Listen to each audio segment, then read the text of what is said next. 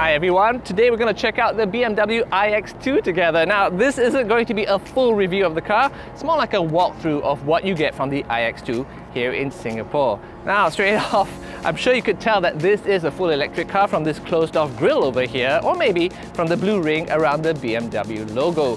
This is the iX2 eDrive 20 and it's the only version of the iX2 that you can get in Singapore, so make sure you pay attention.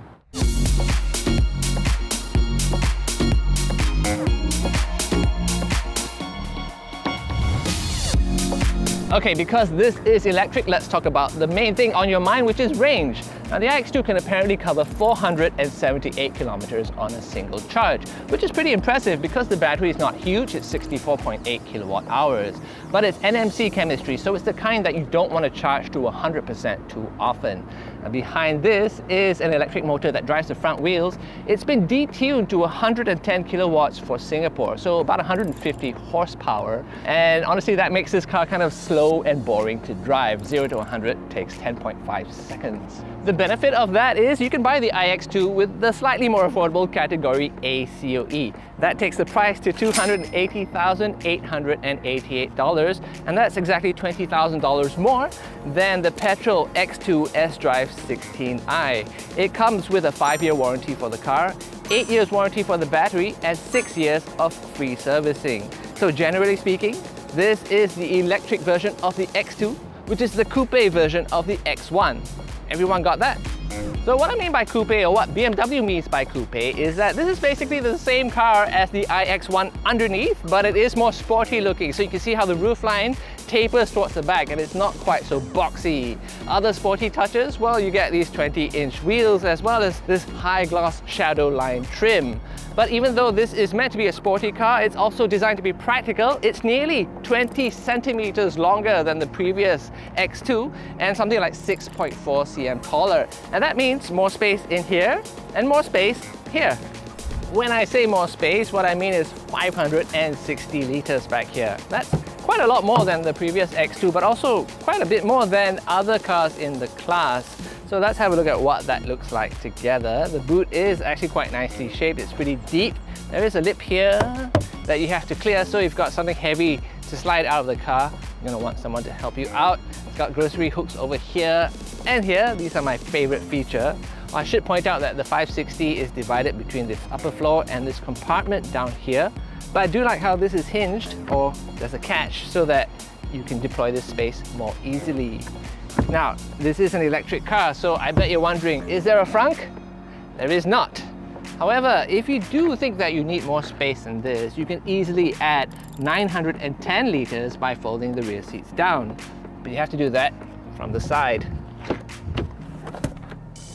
Like so. Now let's check out the back seat together, guys. Before I do that, well, let me show you that you can actually adjust the seat back angle here a little bit. You don't want to sit that way, but you do need uh, just a little bit more space for the boot so you can close it. That's actually quite useful to have. Now, also, when I get in, you can see that I actually have to dip my head quite a bit because of this opening over here, but once I'm inside, I'm actually okay for headroom. Now I'm 1.75 meters tall. This is my actual driving position.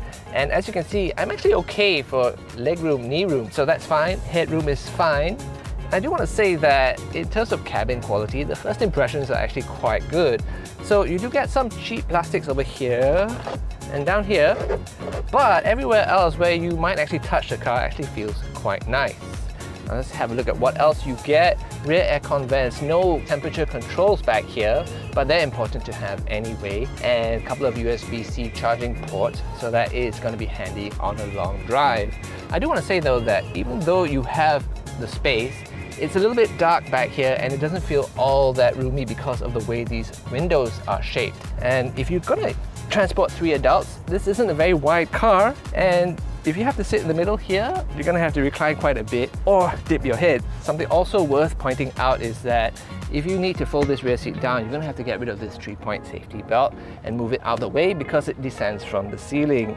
Now that's quite easily done. Simply a matter of doing this and there you are. But overall though, I would say that if you are planning to use your iX2 as a family car, and you have three sort of growing or teenage children, you might want to think about stretching to an iX3.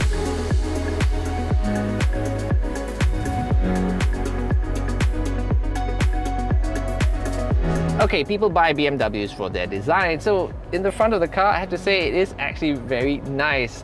Let's have a look at the dashboard first. Well, okay, premium materials, not really.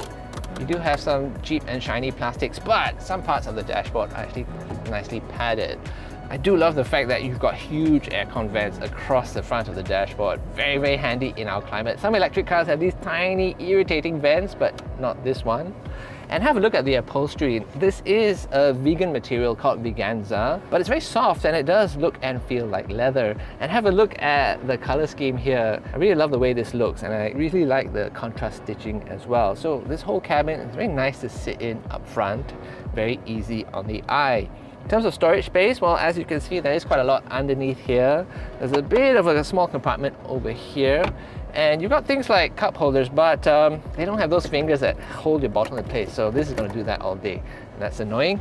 Uh, one thing I do really like though is this clip for your mobile phone. There is wireless charging and there's space enough for you to charge like I don't know, a mini tablet or something, but it does hold your phone in place so it doesn't move around like crazy when you drive a BMW like a BMW should be driven.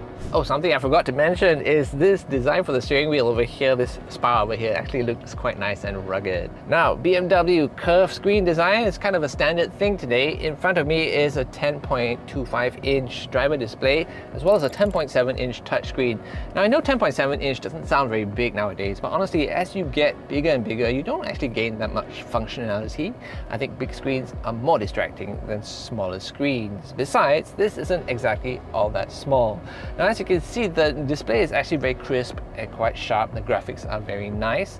In terms of the layout, well, it's not as easy to use as BMW's previous systems. But once you know where everything is, you can basically use it like you would a smartphone. And the nice thing about it is that it's customizable. So let's say I want Android here instead of Apple CarPlay, I'll just press and hold this, and then I can move it to where I want. Oh, and I'm sure you noticed as well, I can add it to shortcuts. There is this kind of shortcut screen over here, so my favorite apps can live here. Now, in terms of what this car comes with, all the basic and modern um, kind of apps that you want are there. So Android Auto is wireless, so is Apple CarPlay. But there are a couple of uh, key omissions, I would say. First of all, there's no head-up display. And that's nice to have, especially since this display isn't all that easy to read. The other thing that surprises me is that you don't have a 360 degree monitor for this car. Instead, the reverse camera is just that, a simple reverse camera with kind of sonar sensors. And this car is not that easy to see out of when you're driving, so this only increases the chance that you're gonna trade paint with a car park wall. And given how nice this car looks, that would really be a shame. So that's our quick walkthrough of the BMW iX2 eDrive 20 right here in Singapore. I do have a full video review of the petrol X2 S-Drive 16i that you can watch. But if you have questions about either car, get in touch with the number below. Or if you want to take one for a test drive, drop me a line and I'll do my best to help you out. Please also consider subscribing. We are a new channel and we could really use your support. That's it from me. Thanks for watching. See you again.